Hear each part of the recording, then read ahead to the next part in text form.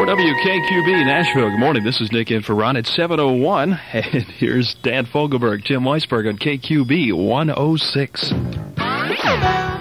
Dan Fogelberg, Tim Weisberg on KQB 106. Morning, this is Nick at 705.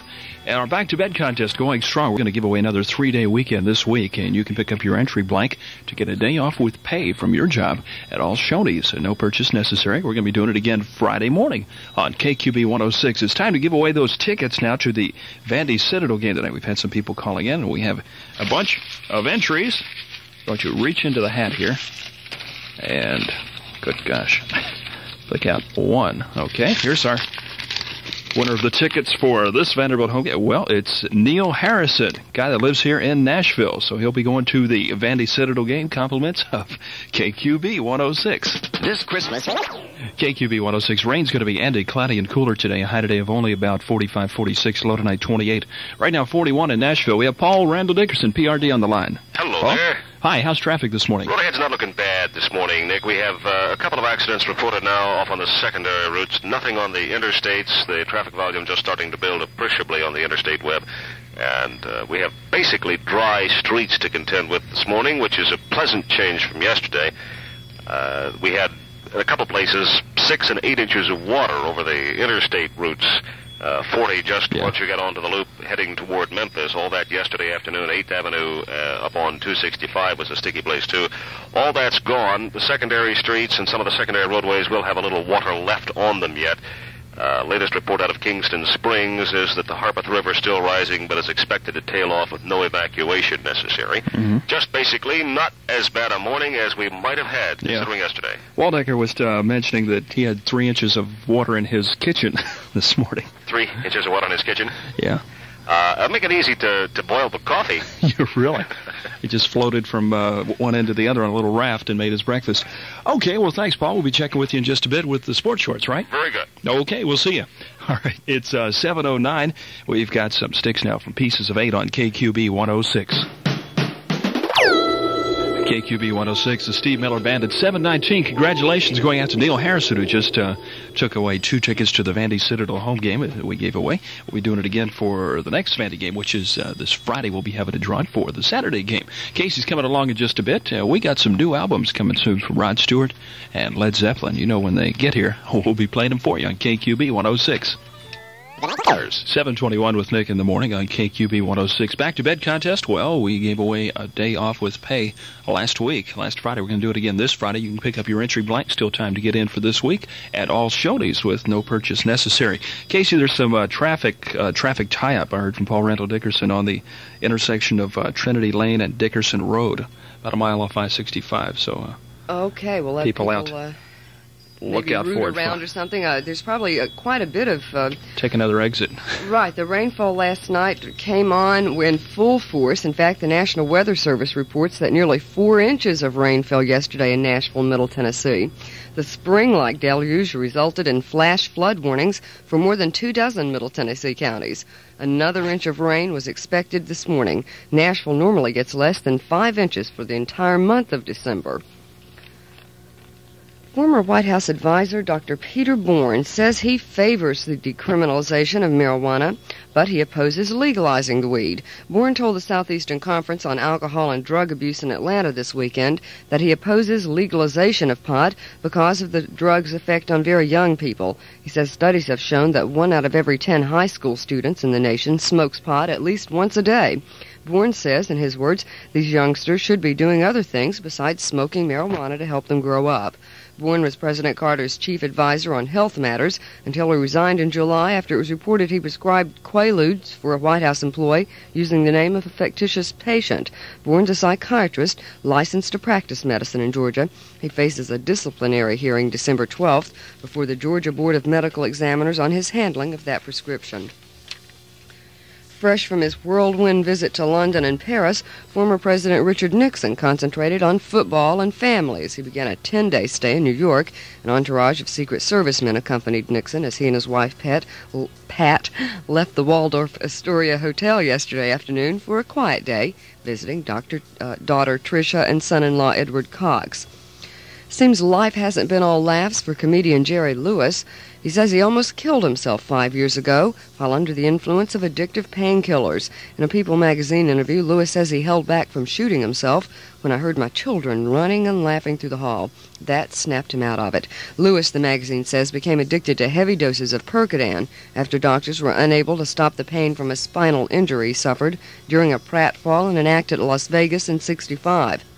Lewis says the experience frightened him. He's further quoted as saying, If I hadn't had seven or eight pills in me at the time, I don't think I would have considered killing myself.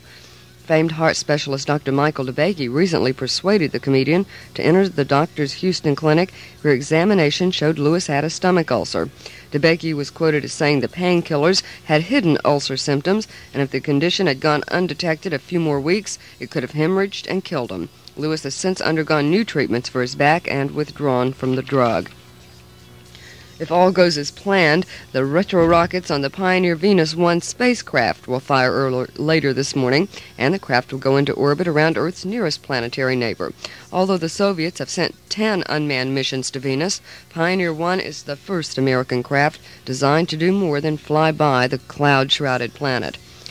Five more American probes, all designed to actually enter the Venusian atmosphere, are due to reach the end of the 300 million mile journey to Venus on Saturday. A Dutch court has ordered that Dutch millionaire Pieter Menten be freed after dropping charges that he committed war crimes while serving with the Nazi SS. The court accepted Menten's claim that a former Dutch justice minister promised him immunity in 1952. Menten was accused of killing 20 to 30 Jews in Poland in 1941. Menten says the immunity promise came in return for his pledge not to reveal the cooperation some Dutch officials allegedly gave the Nazis. Official sources in Jerusalem say Prime Minister Begin will reaffirm Israel's refusal to amend the draft peace treaty. Begin reportedly will send a letter today to President Sadat of Egypt responding to Sadat's proposals to start the treaty talks again. An FBI agent who met the survivors of the Guyanan death ritual in New York yesterday says the Bureau has prepared arrest warrants for an undetermined number of cultists believed involved in the murders of Representative Leo Ryan and four other Americans. The agent would not specify who was named in the warrants or what charges were made. A report by the House Armed Services Committee says the military is incapable of getting enough recruits to handle a crisis. The committee calls this a worsening risk to national security. A civil rights damage suit filed by 13 relatives of those who died at Kent State University in 1970 goes to retrial today in Cleveland. Ohio Governor James Rhodes and Ohio National Guard officials were cleared of liability in the original trial, but the Supreme Court ordered a retrial after criticizing the judge's handling of reported threats on a juror. Attorneys for Cullen Davis expect to open their defense today in Houston. State prosecutors have held the floor for the last month and preparing to wrap up today. Davis is charged with conspiracy in an alleged murder for hire case. Larry Ford of Fort Walton Beach, Florida, was so upset when property tax assessors said his beach house was worth $2,200 Ford said the house, which he did not use, was worth about $200. So rather than pay the tax, Ford tore the house down. Now, he says, the value of the house is zilch. The East Nashville YMCA is having Christmas trees for sale. It's at the Y, 2624 Gallatin Road. KQB weather, cloudy and colder, light drizzle ending early today. High 45, low tonight 28. Right now it's 40 in Nashville. This is Kacey Maxwell. Tore his house down, did he? That, that's one way to solve your tax problems. really? Didn't even need any legislation for that one. Well, thanks, Kacey. We'll be checking back with you in just a bit. 727, here's some hard for you on KQB 106. KQB 106 morning. This is Nick. It's 736. A little bit of Santana. We've got our back to bed contest now. How do you feel just getting into work? How would you like it if someone just called up and said, hey, you got the day off. Well, we're doing it to people, and uh, if you'd like to get in on the action, possibly get a vacation of your own, three-day weekend, we'll pick up an entry blanket, all Shoney's, no purchase necessary. We'll be doing it again this Friday. Sony products available at Audio Systems, 205 22nd Avenue North, just off Elliston Place. Yay, well, it's 7.38 this morning. Uh, rain is going to be ending today. Cloudy and cooler weather is coming through, but no snow. That's what uh, Paul Randall Dickerson has said. Uh, we're looking for a high today of 46, a low tonight of 28, and right now a 41 in Nashville. Well, thank you, Paul. It's 741 at KQB 106, and we got uh, something from that new Clapton Backless album for you. Smeagol's for you, KQB 106. Good morning. This is Nick in for Ron. It's 752, and uh, we want to congratulate Neil Harrison, who uh, lives here in Nashville. Won himself a couple of tickets to the Vanderbilt Citadel basketball game tonight as part of our uh, Vandy ticket giveaway. And our B is off taking a little vacation right now. I think he made a little run south of the border, but uh, he'll be back making his visits real soon. I want to thank everybody for having us on while they work. And um, I'd like to know if you're listening at work. So why don't you, uh, before the boss comes in, sneak into his office and steal a piece of that nice company letterhead, okay? Paper, and uh, just write us a note. Remember, KQB 106, located 159 4th Avenue North, Nashville, 37219. Candle holders, hills. 754 on KQB 106. Kacey Maxwell standing by with uh, what's happening this morning.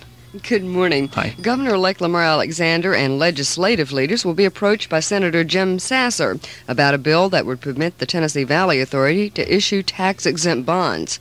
Sasser thinks elected officials are obliged to help keep TVA power rates at a minimum. He says TVA now borrows federal funds at a rate of 8% interest, but that tax exempt bonds at 6% interest would result in savings of as much as $25 million. The chairman of the Tennessee Pardons and Parole Board says the panel has no plans to discuss whether Roger Humphrey should be granted a clemency hearing. Charles Traughber said yesterday that the board is awaiting an attorney general's opinion on the panel's compliance with Tennessee's open meeting law. He said he'd asked the state attorney general's office for an opinion on the board's compliance with the state sunshine law. Traughber said Friday that the board would meet today to consider a clemency hearing for Humphreys, the son of Governor Ray Blanton's political ally. Humphreys serving a 20 to 40 year prison term for the slayings of his ex wife and her lover. Last year, Blanton promised to pardon Humphreys, but he said before the November 7th election he'd changed his mind. But he didn't rule out commutation, and earlier this month told reporters that correction officials were evaluating Humphreys and inmates at the governor's residence for possible commutation. Cleanup operations continued today at the site of a Southern Railway train derailment in Nelson County, Virginia. The eight car Southern Crescent passenger train jumped the tracks early yesterday morning, piling cars like matchsticks in a shallow gorge. Six people died in the accident, about 60 were injured, five critically. Rescue squadsmen worked through the day to free a cook trapped for some 11 hours under a stove in the dining car. The National Transportation Safety Board and the railroad are investigating the cause of the accident on the scenic tour. Commerce Secretary Juanita Kreps says she's lifted the ban on exporting petroleum equipment to the Soviet Union. The government blocked the shipment of drilling and pumping equipment last July to show displeasure over the trials of two Soviet dissidents. Mrs. Kreps made the announcement in Moscow, where she's taking part in trade talks. The events of May 4, 1970 will be the focus of attention in a trial opening in federal court in Cleveland later today. Actually, it's a retrial of a civil rights damage suit brought by 13 relatives of the victims of the shootings at Kent State University. The suit names more than two dozen defendants, including Ohio Governor James Rhodes. A crucial maneuver is due to take place in a few hours, about 300 million miles away. The retro rockets of the Pioneer Venus 1 spacecraft are to fire to send the spacecraft into orbit around the Earth's latest planetary, nearest planetary neighbor. The leaders of the nine European Common Market countries open a two day summit in Brussels today. They're going to finish work on the European money system. The plan, due to take effect January 1st, is designed to stabilize money markets. The dollar lost a bit of ground in early trading in Europe today. In Japan, the dollar closed lower. The price of gold up nearly $3 in London. NATO ministers open their annual winter meeting in Brussels today. Among the items on the agenda is a report suggesting aid to Turkey to help the government overcome very serious economic problems. A member of a citizens band radio club in Buffalo, New York, picked up a distress call from a stranded motorist and his family recently. Robert Gajewski relayed the message to Buffalo police. Stranded motorist on Route 93. The police relayed the message to the Nevada Highway Patrol. It was Route 93 in Nevada. On the sports page, years from now, the record books will carry plenty of reminders about the day Tennessee and Vanderbilt tangled in 1978 for their traditional football season finale. Actually, Vanderbilt may have finished at the bottom of the Southeastern Conference standing this season, but it placed five players on the academic all conference football team. The five players from Vanderbilt are offensive guard Tommy Woodruff, defensive lineman Tim English and Kenny Cole, linebacker Randy Citizen, and punter Roger Alsop. Tennessee placed two players on the academic team. Their offensive back David Rudder and defensive back Greg Gaines. We'll have weather next. The next 60 seconds. The Single Parent Society is having a Sunday afternoon coffee and a dance. It happens two times a month. You can call them at 228 6478. KQB weather cloudy and colder, light drizzle ending early today. High of 45, low tonight 28. Right now 40 in Nashville. This is Kacey Maxwell. Well, thank you, Kacey. It's now 8 o'clock. Yeah, we're WKQB, Nashville from Beggars Banquet, The Stones on KQB 106. KQB 106 with Chicago. It's 810. Nick in for Ron in our back to bed contest going full blast. We're going to give away another three day weekend this week, and there's still time to get in on it and possibly win yourself a day off from your job with pay. Entry blanks at all Shoney's with no purchase necessary. This Wednesday night.